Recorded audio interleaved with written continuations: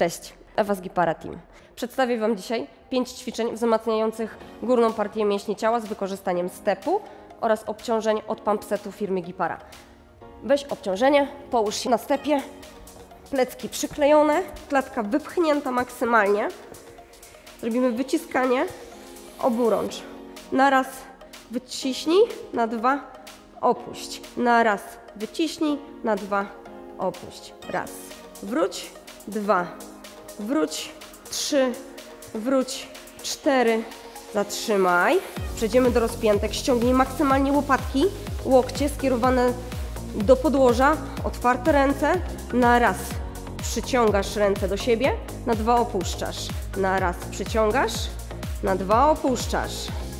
Raz, wróć, dwa, wróć, trzy, wróć, cztery. Trzecim ćwiczeniem jest przenoszenie obciążenia za głowy.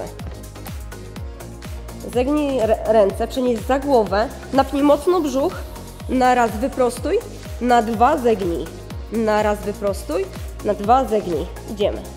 Raz, wróć, dwa, wróć, trzy, wróć, cztery.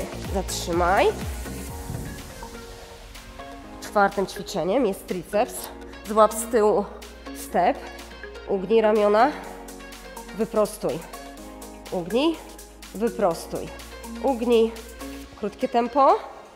Raz, góra, dwa, góra, trzy, góra, cztery.